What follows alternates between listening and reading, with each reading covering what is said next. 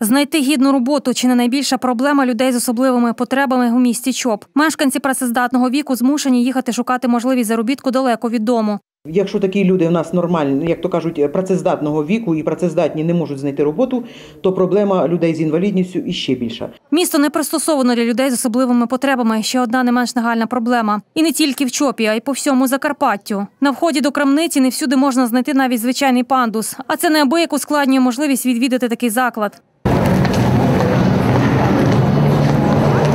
Олександр Лізанець каже, прикро, що в області немає пристосованих до людей з інвалідністю вбиралень.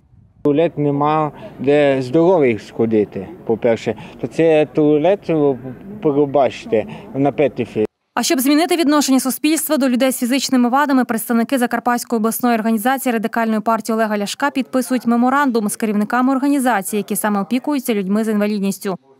Відчуваючи відповідальність та усвідомлюючи важливість об'єднання наших зусиль, прагнемо будувати свої взаємини на основі принципів рівності, чесного партнерства, захисту інтересів людей з інвалідністю та відкритості до суспільства усіх напрацювань в рамках спільної діяльності.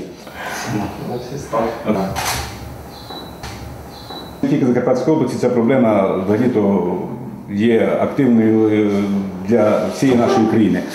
Тому ми теж звертаємо увагу на цю проблему і маємо щирий намір е, насправді е, зробити щось корисне для того, щоб люди з інвалідністю почували себе повноцінними членами громадянського суспільства.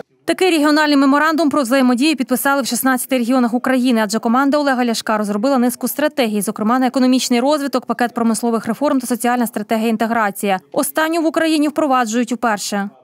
Такої стратегії раніше ні в кого не було і не було навіть натяку. Це місії по захисту і правовому захисту через організації радикальної партії на місцях, через юристів радикальної партії, через депутатський корпус радикальної партії, налагодити взаємодію з громадськими організаціями і розпочати діалог та взаємодію. Меморандум набирає чинності з моменту його підписання. Тому, як розповідає Володимир Шубець, готові відстоювати інтереси людей з особливими потребами, зокрема у Верховній Раді.